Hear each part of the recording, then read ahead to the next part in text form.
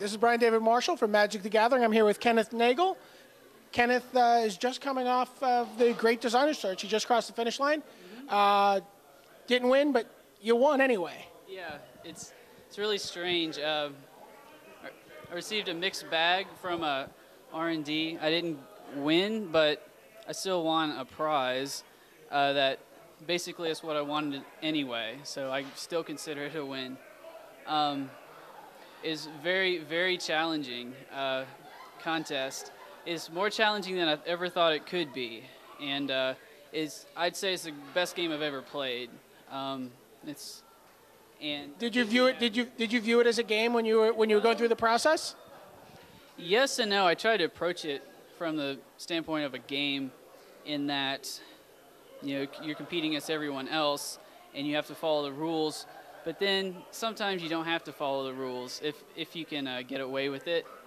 Um, I learned a whole lot about card design, and uh, the jobs that these designers do is is much harder than it looks. And a lot of times they're uh, they're protecting us from ourselves uh, because because a lot of the stuff that I come up with is uh, it's wouldn't wouldn't work in a real magic set, and the rigorous process they go through is a very very eye opening. It's very interesting actually because you you really are making the journey from someone who has been a commentator about magic in the forums Okay. for a long time. Right? I've, as long as I've been reading uh, MagicGathering.com, certainly I've seen you as Norit in the forums, and so you've been writing about Magic. So it's very interesting to see someone coming up instead of coming through, say, the Pro Tour ranks, coming up through like the the Magic community ranks to to take a job uh, with Wizards of the Coast. Seems very interesting to me. Yeah, at first I uh, like to post in forums because it's uh, very. I like to interact with people, and I try to teach them things to make them better because I, I really could have used the help when I first started. And from there, I started writing articles uh, because I, my audience could be bigger, in a, in a sense.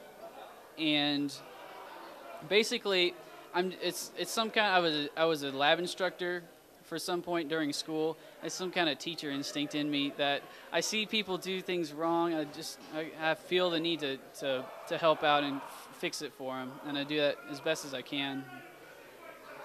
Over the course of the uh, three months you were doing the Great Designer Search, is there any work or cards or ideas that you came up with that you're especially proud of? Um, I'm especially proud of my very first card I submitted, uh, Forest Folk. It's a creature land, Tree Folk Forest. I submitted him as a 2 2. It's probably a little too good, but uh, I'm, I'm of the opinion that that's not my job to make the cards too good.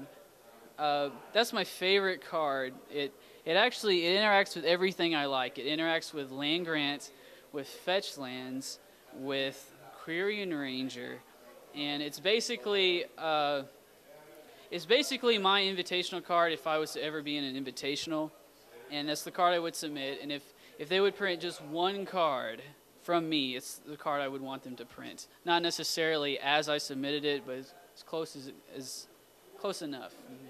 What, what are you expecting from the next year now that you uh, you've been offered a uh, position?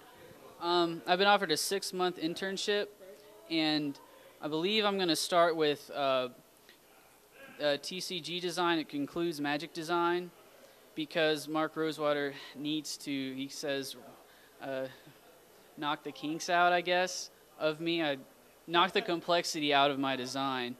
Uh, so basically, yeah, I, have an internship, but I still need to, you know, prove that uh, I can do it because as is now, I'm I'm too rough. But uh, he's given me time to prove myself. You feel like you can do it? Uh, yes, I feel I can do it because with with what coaching I've had, uh, they say I'm I'm good at taking advice, and Mark Rosewater wants to see me when I'm not under a 72-hour deadline with you know no sleep and stuff like that. So uh, yeah, I hope it's a permanent thing. And I understand that people are going to get an interesting look inside the process from you sometime in the near future. Yeah, I have a tournament report I'm going to post on magicthegathering.com. It's hopefully the point of it is to show just how difficult the test was. I've I've been through a lot in my life. I've I've I've gotten a master's degree in computer science. I've been in marching band, and I have a black belt in taekwondo. And this is harder than all of those. Okay, it's this is a hard test, and uh, I, I hope to get across just how hard it was.